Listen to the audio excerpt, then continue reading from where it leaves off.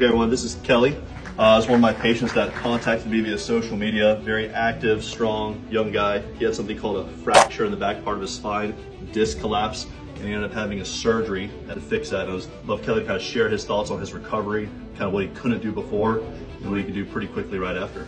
Yeah, I've always been very athletic throughout my life and loved to run, work out, and over the last seven years, it's been very debilitating being able to do the things I love to do, run, play golf, do those types of things. Wasn't able to do any of that. Uh, I'm four months post-surgery. I can say like from day one, had zero pain, went through the, the recovery process. It's been absolutely amazing. I'm now being released to go out and start playing some golf and I can say absolutely one of the best decisions I've made in my life. I wish I would have done it sooner.